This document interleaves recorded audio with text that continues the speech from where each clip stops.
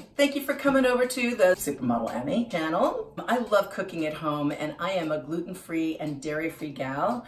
I try to do that on the outside. When I travel, it's not so easy, but when I'm home, I love cooking yummy, delicious food that's closest to the earth pretty much and uh, dairy-free and gluten-free.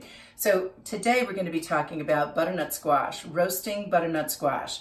So it's the fall, it's beautiful, and I've cut up my butternut squash in chunks, and I'm gonna just throw that into a big bowl.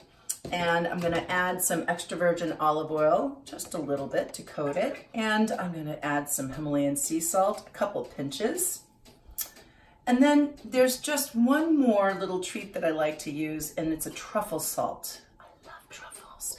So it's just an, a little bit of a taste it's not too much salt because you do need some help with getting that flavor of butternut squash to come to the surface. Okay, I also have um, three to four of these nice big uh, baking sheets that you can get at a professional restaurant depot and you can order them online of course, but I love these. They are durable, they handle high heat and they roast all my vegetables. So mix it around in your bowl and all you have to do is just throw it onto your baking sheet.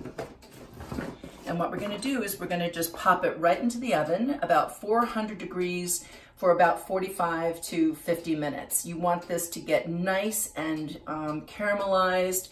Um, if you wanted to go more sweet, you could add a little bit of coconut sugar. If you want to go more savory, you could actually add some thyme. You can do some seasoning. What I like to do, especially during the fall with pumpkin and squash and all that, is add a little bit of ground cinnamon. And you don't need a lot. You just need a little bit of a smattering on this. It brings out the flavor so beautifully and it's in keeping with fall. Here we go.